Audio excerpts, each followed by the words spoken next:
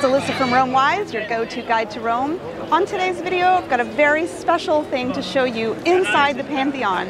This video is a little bit particular, unlike my other videos, because we are only going to focus on this phenomenal event that happens on September 4th every year inside the Pantheon.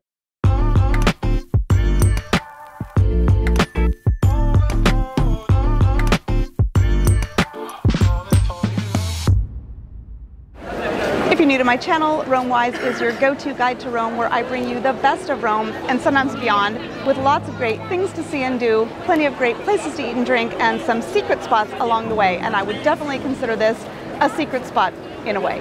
Let's go.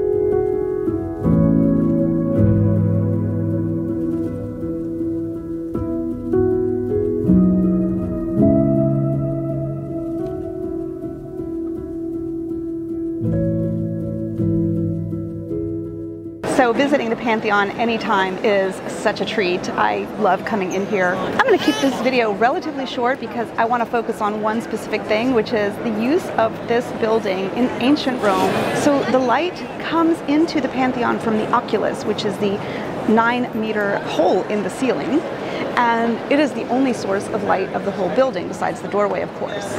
Obviously, depending on the time of day and the time of year, the light that comes in through the oculus, it sweeps around the oculus and sometimes it's higher up, sometimes it's lower down. During the summer, obviously, it goes straight down and it hits the floor.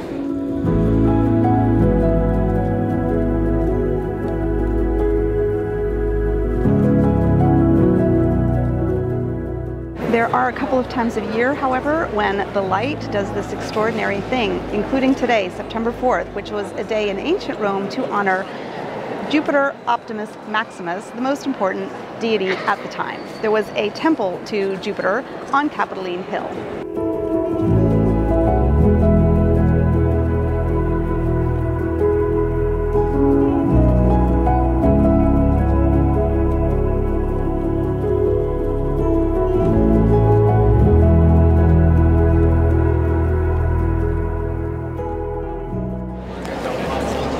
Pretty cool.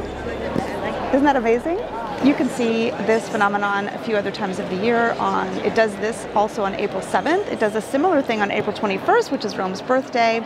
And on April 23rd, there, which is Augustus's birthday, there's actually a similar phenomenon, but the big splotch of light is slightly above the arch.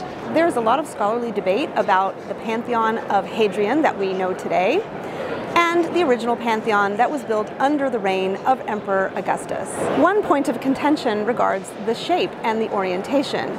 I will suffice to say in this video that it is very likely that the original Pantheon built under Augustus by Agrippa actually was very similar to the shape of the current Pantheon and faced north the way the current Pantheon faces north.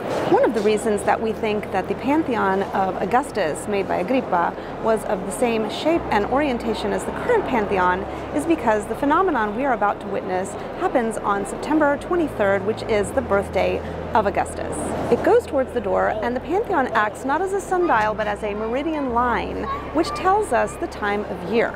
So in the winter, you've got the winter uh, solstice and the sun is really low in the sky, the Pantheon's light shines on the coffered ceiling very close to the oculus because the angle is very, very steep. And on today, which is Augustus's birthday, we are going to see this light go right past the doorway, shine through the grill above the doorway but under the arc and it will shine outside. Now we have to imagine that this would have made the emperor seem godly. I hope you've enjoyed this video about the Pantheon and some of the amazing things that happen here throughout the year because of the Oculus.